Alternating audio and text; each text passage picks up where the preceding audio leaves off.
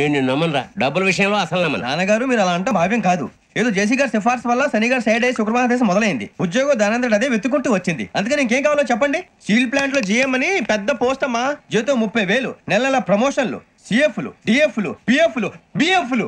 ఇవన్నీ నువ్వు చదివిన చదువుకే? అబ్బాబే దీనికి చదువుకి సంబంధం లేదండి. చెప్పాను కదా శుక్ర మహాదశ అది దాని పవర్ అనుకోండి ఎఫెక్ట్ ఏహే, ఈ అనుకోండి రోజుల్లో కూడా గ్రహాలు గ్రహాలు?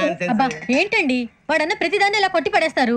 చిన్నప్పటి నుంచి లక్షలకు లక్షలు పోస్ట్ చదివించారు. ఎహె, అమ్మా నువ్వు లేని పోనీ పెట్టుకో. లక్షలు ఎక్కడైనా? ఊరుకోరా మాట వరుస కదాలే ఒక పాతికి వేలిస్తే వాడి జీవితం సెటిల్ అయిపోతుంది అంటున్నాడుక అంతగా ఆలోచిస్తారేంటండి? అమ్మా నాకు ఉద్యోగం రాగానే మీ అందరూ స్టీల్ ప్లాంట్ షిఫ్ట్ చేస్తే ఓకే? నువ్వు చెప్పేదంతా కరెక్టేనా? నాన్నగారు మీకు అంత అనుమానం అది ఇవ్వకండి. సర్లే ఇప్పటికిప్పుడు అంత డబ్బు అంటే కష్టం కానీ నా కెనటిక్ హోండా అమ్మాలి. నాకు తెలుసు మీరు ఆ నిర్ణయం తీసుకుంటారని. అందుకే పార్టీని పట్టుకొచ్చాను. బయట వెయిటింగ్.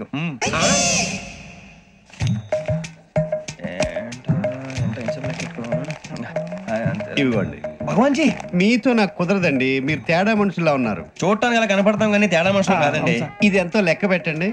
ఐదు వేలు తగ్గిందండి. ఆ విషయం నాకు ముందు చెప్పాలి కదా? ఇది తేడాతనం కదా? సర్దుబాటు కాక జరిగిన పొరపాటు. మా దరిద్రం మీకు తెలియంది కాదు. మీ ప్రాబ్లమ్స్ నాకు అనవసరం అండి. ఇప్పటికే మీ మూలంగా మూడు లక్షలు బొక్క తెలుసా? మీరు ఫేస్ అంత చిరాగ్గా పెట్టకండి. రే ఆ గొలుసు ఎవరా? తొందరగా ఎవరా? ఆయన కోపం వస్తుంది. ఇదిగో తీసుకోండి తీసుకోండి. వద్దండి, తీసుకోండి ప్లీజ్. భగవాన్ గారు తీసుకోండి సార్ ప్లీజ్. భగవాన్ గారు మీ కోపం తగ్గిందా? కోపం కాదు వెంకటేశ్వర గారు. ఎందుకో భరించలేను. అది నా బలహీనత. ఇవన్నీ వదిలేయండి. ఇంకోసారి పొరపాటు జరగదు. మేము ఎప్పుడు జాయిన్ అవ్వాలో చెప్పండి. కొత్త బట్టలు కొనుక్కోవాలి. మీరు ఆ పనిలో ఉండండి. పొద్దున్నే గుడికి వెళ్ళి నైన్ థర్టీ కల్లా మొన్న వచ్చారే? ఆ ఆఫీస్కి వచ్చేయండి. మీ అపాయింట్మెంట్ ఆర్డర్స్ రెడీగా ఉంటాయి. ఎయిట్ థర్టీకి వచ్చేస్తాం. మీరు వచ్చిన వాళ్ళ తలుపులు తీరు. మీ కంగారు నేను అర్థం చేసుకోగలను. ఇంతకాలం పని లేక స్తంభించిపోయిన మీ జీవితాలు ఇక నుంచి వేగం పుంజుకుంటాయి. ఆయన ఉన్నారా? ఎవరు? భగవాన్ గారు. మీరెవరు? ఆయన క్లోజ్ ఫ్రెండ్స్. సరే. లోపల రండి పదా సార్ వీళ్ళు భగవాన్ క్లోజ్ ఫ్రెండ్స్ అంటారు. సరే నువ్వు వెళ్ళి నేను మాట్లాడతా. సార్. మీరంతా భగవాన్ స్నేహితులా? అవును. అలాంటి స్నేహితులు ఉన్నందుకు గర్వపడుతున్నాం. సరే.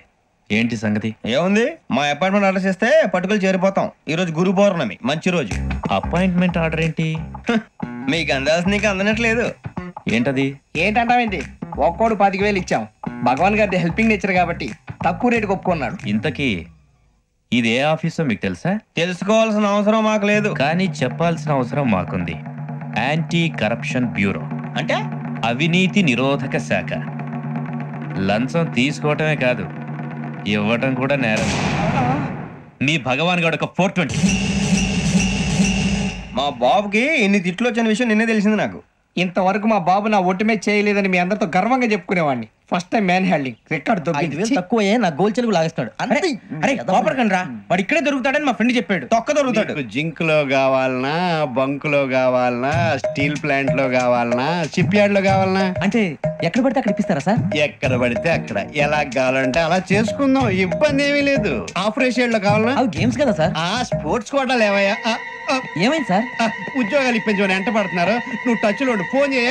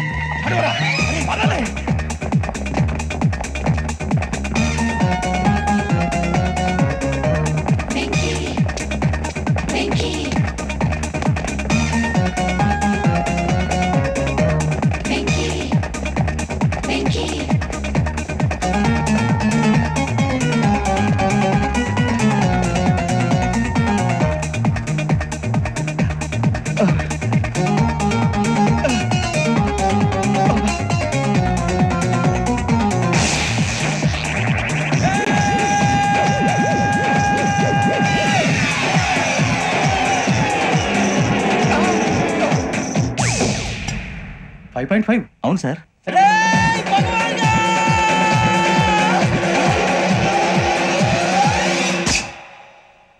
గ్రేట్.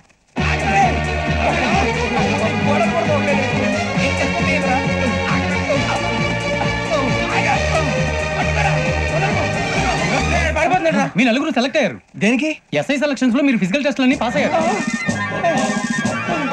పాస్ అయ్యారు కానీ మేము అప్లై చేయలేదు సార్ అప్లై చేయలేదా? చేయి వదలకండి సార్ కాలు పట్టుకోవాల్సి వస్తుంది. రాగరాకు వచ్చిన అవకాశం. సరే. మీరంతా డిగ్రీలు పాస్ అయ్యారా? ఎప్పుడో. ఓకే. ఇప్పుడు అప్లై చేయండి. థ్యాంక్ యూ సార్ నేను మేనేజ్ చేస్తాను. థ్యాంక్ యూ సార్ మీరు return test prepare sir. All the best